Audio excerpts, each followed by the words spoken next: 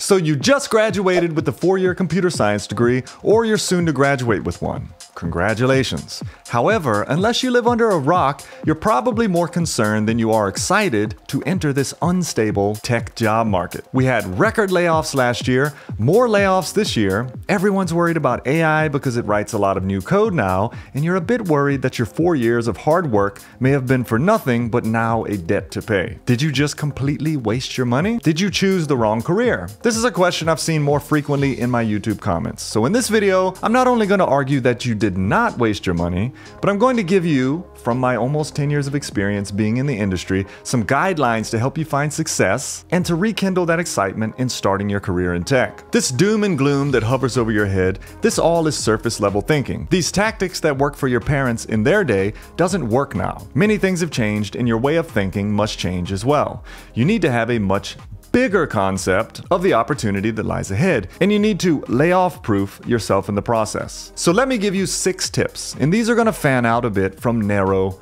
to wide. But before we get started, I wanted to announce that my coding community is officially open again. I've moved it over to the Skool platform, and it currently costs the price of a Starbucks drink to join. And that will actually be going up in a week or two, so get in while the price is low. I'll put a link below in the description if you want more details. Okay, six tips. Number one, the starting point. Before we get to opportunity, we need to discuss humility. You see the big salaries, you see the big titles, you see all the people that don't have the degree that you have, and you are the one that put in the work. And you think the industry then owes you a job. Well, it doesn't. You are a newbie in the industry. You have little to no real world experience. So take this pride that you may have and swallow it for a while. This means to get your foot in the door, take what you can get from the outset. If they only offer you 50,000 at your first job, take it and work for a year. If it's a paid internship, take it and work extra hard to be amazing, and they may just hire you on. The biggest issue I see with many new grads is they have outlandish expectations from the start. They've spent four years debating with other students. They have new clicky keyboards, 3D printing machines, and they think they know all the workings of the computer world. And they often are feisty and they want to correct everyone because their professors laid it out this way or that way. And everyone else just isn't thinking as technical as them. And often you might be right. But this isn't how you enter the industry. You enter the industry more with your ears open and your mouth closed. You do good work. You try and soak in everything your mid and senior level coworkers are doing. They have that real experience that you need to succeed. So be humble, don't expect six figures. Take what you can get to get some experience and soak up the knowledge along the way. Number two, introduce yourself to the industry. This is one step in how you become what I call unlayoffable. You get on X and you post a couple posts per day. You reply to like 10 people a day every day. And then you cross post these on LinkedIn. Then you subscribe to a newsletter. May I suggest the Travis Media newsletter? Link below, so that you are fed the latest updates happening in this industry. This gives you the ability to be in the discussions going on. Then, start to form opinions. And you do this not only by reading, but by writing regularly. Just buy a 99 cent notebook. Writing helps you form thoughts and map together different facts, and you begin to form opinions that you can back up. Then you share them. Start writing on Substack or Medium, not in hopes that you'll get paid for it, but to get your name and your views out there. Again, take the content, break it down, and share it on X. Force people to see your profile picture multiple times a day. Here's what I mean by that. Here's some examples. Glitchbyte check out this profile photo. It's very unique. And when I see it in my timeline, I always check it out. And if you just scroll through these, everybody's kind of common. Then I see this one with a yellow background. If I saw this every day, multiple times per day, it would stand out to me when I saw it again, and I would end up following this person. Actually, I am following this person. And if I keep scrolling down, there's Danny Thompson. We'll talk about him in a minute. But I see Fireship. So Fireship, he's had this for a long time. It's orange on the background, it's a picture of him, and it stands out. And it's been the same, like I said, for a long time. And the key here is not so much what it looks like, but for it to appear on people's timelines regularly, day after day, as new tweets and as comments. So if you're posting multiple posts per day and you reply to like 10 people a day, and you pop up everywhere so that you start to stand out when people see it, and you don't change it for a long time, people start to follow you. People start to look for your opinions. And like I noted earlier, I've seen this picture for a long time of Danny Thompson. And when I'm scrolling through my feed and I see it, I read his tweet because he's established himself as a person in this industry who has an opinion and who has good insight that he's learned over the years. Imitate Danny. Pop up everywhere so that you start to stand out when people see it. And then don't change it for a long time. And over time, become a person people look to for perspective in this field. Because when people do that, recruiters see it. And since people are seeing you daily, your network begins to grow. People begin to see that you know what you're talking about, and they look for your perspective. Then, if you get laid off, you have this network of people that can virtually vouch for you, and many more who would rally to scoop you up into their company if they could. The point here is to not be a nobody in tech. I have a whole video on that, link above. But you want to form opinions with skills to back them up. And since you are young, you have many years to do this. Many years to become more and more valuable and marketable in this industry. Number three, Build the Legos. Your degree helped you generalize. You learned data structures, algorithms, computer hardware, a little coding, math, science, and all that. But it's like a bunch of Legos poured out on the floor. It's not a model Batman car or Star Wars ship, it's a mess, and they hurt to step on. These skills you've learned are not immediately valuable in the real world because when you start working with teams and in the cloud and writing scripts and debugging and trying to locate a memory leak and try to set up some Windows servers, it's a whole different ballgame. Many people say their degree didn't prepare them at all for what they faced in their first tech job.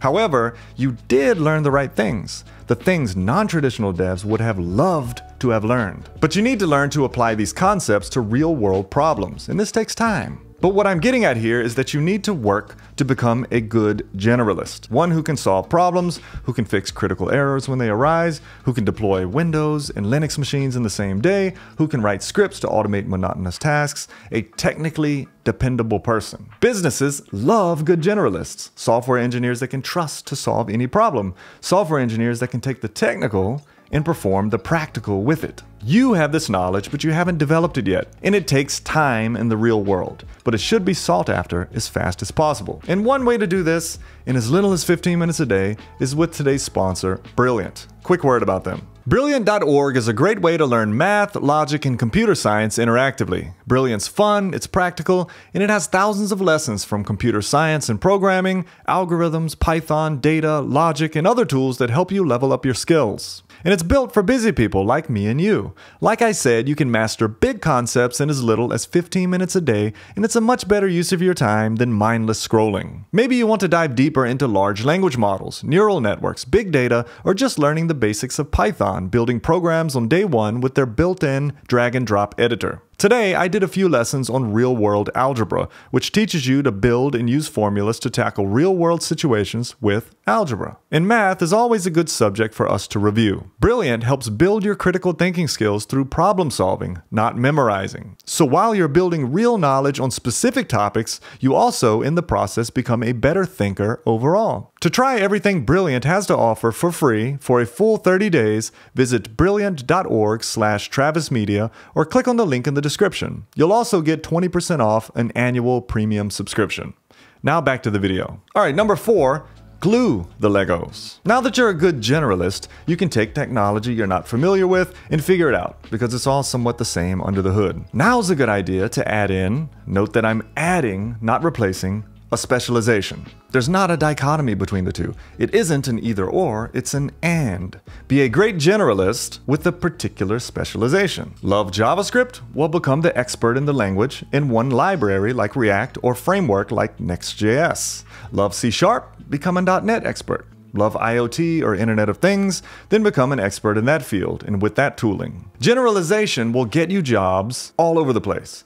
Being a specialist an expert, the go to guy in a particular thing, puts the ball in your court throughout your career. Now, a lot of people say this gets boring working with the same specialty all the time. I get it. But you don't have to stay a specialist in the same thing forever. Specialize in something else while you're exercising your specialization at your job. And this leads me to the next point. Number five, your career is fluid. If you're 21 or 22, fresh out of college, you have like 30 to 40 years ahead of you. If you don't prefer your first job, it's okay. It's just your first year. And if in five years you're tired of programming and your passion is more in system administration or project management, then make the moves to shift into that space. And if in five more years you're sick of systems and love machine learning, then make the moves to shift into that space. The point here is that over time, your career should be a fluid career. Why? Because tech is a huge space. Many project managers that I worked with have a background in programming. They're amazing in something they no longer do. They did it in the first decade of their career out of college. They weren't always what they are now. And you don't have to always be what you are now. In fact, to stay fulfilled and satisfied throughout a lifetime, it's good and healthy to shift into different roles. So every couple of years or so, do a self-assessment to see if you're where you want to be. Is what you do fulfilling? If not, make some plans to shift into a different area of tech that excites you more in that season. And then finally, and most importantly, number six, why the opportunity is so vast. Okay, you may be like, Hey Travis, you didn't really answer the premise you gave us at the beginning of the video. I'm fresh out of college and I'm worried about my career and if I made a mistake. What about this? Okay, let's talk about it. You are entering a tough market, but it's not because it's a bad industry. It's because we've had a bad economy for a few years now and we're digging ourselves out of the hole we've created. And this isn't new. It is not the first time this has happened by any means. It's cyclical. So, first, you're not in a dying industry. Second, you are entering an AI boom. AI can write code. AI can be a companion to a senior dev such that they no longer need you. And AI may be the reason why jobs aren't coming back as fast as they are in tech.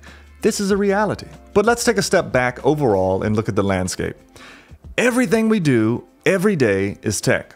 Everything that exists all around you is created by people with your skill set. The cars, the computers at gas pumps, the cloud, web apps, your phone, your bank, your hosting service, your low code app, your watch, everything. So you're now in a field where you have unlocked the skill set behind producing, maintaining, and creating everything.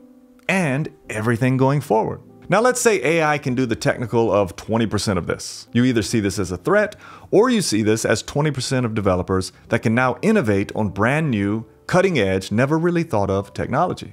And this new technology now demands people with your skill set to run it. That's actually AI creating more jobs and opportunities. If AI takes the job of a call center clerk or the bank teller or the cashier, that's one thing. These jobs are monotonous and no one really likes to do that work anyway. But out of all the things AI can replace, do you think it can easily replace the field of workers that it depends on to exist? And if, for some reason it did, would those workers not then look to innovate into new frontiers now that all that is out the way? What I'm trying to tell you is that you are in the very industry of future innovation. Stop worrying about AI taking that legacy Java role that you hate so much anyway. Instead, think bigger into all the opportunity we have in tech today. None of this exists because of AI. It exists because of you and me. AI just showed up in the middle of the game like, hey, I'm ready to play. You see, you see yourself as a person who writes code. That's small. That's a small percentage of what you do. You are a problem solver, an innovator, a persuader, a conveyor of technical to simple. Tech isn't getting sucked up by AI. Tech is blowing up because of AI. And you are now in an industry with the skill set to come alongside of a field that is blowing up. That's exciting. I'd love to hear what you think below, so leave a comment. If you found this video helpful, give it a thumbs up. If you haven't subscribed to the channel, consider doing so, and I'll see you guys in the next video.